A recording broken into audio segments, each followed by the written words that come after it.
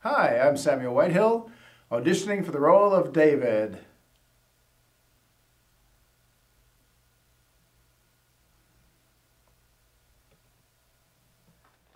Oh, as long as I'm confessing here. You know what I do mm-hmm. sometimes on Friday night?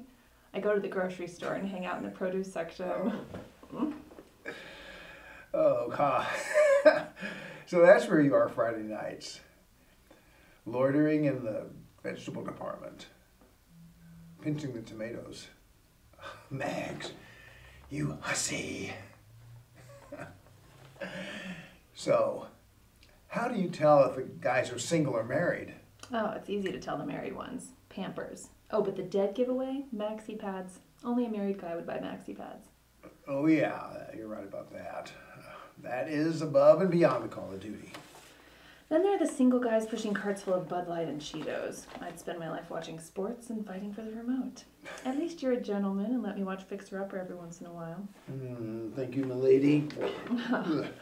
Oh, and guys schlepping 50 pound bags of Purina dog chow are better, but not much. You know about my three cats. Yeah, I guess that uh, also eliminates the walking your dog option. Hey, why don't you teach one of your cats how to walk on a leash? Ugh, and forget the laundromat. Maybe I'm a snob, but I really think any guy worth dating ought to, at the very least, have a stackable washer and dryer. Uh, what about if they send it out? Nice, if you can afford it. Then there's the bookstore. I love bookstores, but I get really distracted because reading is one of my favorite things to do. Yeah, mine too, but are you sure the bookstore's the right spot? I, I get completely engrossed looking around for the latest fantasy novel I haven't read, and I, I never see anyone in a bookstore. Or even sure they're there.